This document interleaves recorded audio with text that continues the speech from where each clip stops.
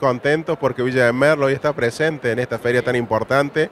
Queremos agradecer al Ministerio de Turismo y de Cultura de la Nación, al ministro Lames, ¿no? a Janina Martínez, a la secretaria de Promoción Romina, que gracias a ellos podemos estar presentes acá. Una feria con mucho movimiento, creo que esto va a explotar durante todos estos días, más de 450 productores y bueno, nosotros de Villa de Merlo promocionando nuestros atractivos, el tercer microclima del mundo, 15.000 plazas para que puedan alojarse en vacaciones de invierno y durante todo el año. Toda la actividad de turismo activo que tenemos, trekking, mountain bike, eh, caminatas, senderos, el filo. El, el filo, el mirador del sol, como decía, son atractivos turísticos que ya de por sí se venden excelente. Y al turista uno le da ganas de ir a che, el filo.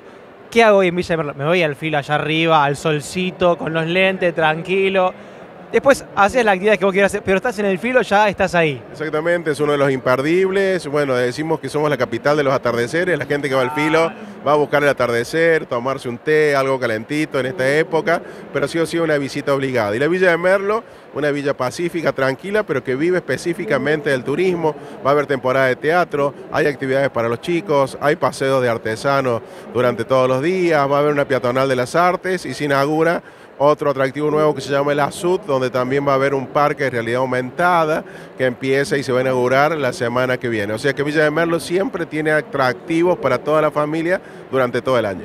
Y déjame decirte que también hay muy buena gastronomía, no me dejes afuera, todos los muchachos, los cabritos, los chivitos, eh, comida al pozo, al fuego, al horno, de todo.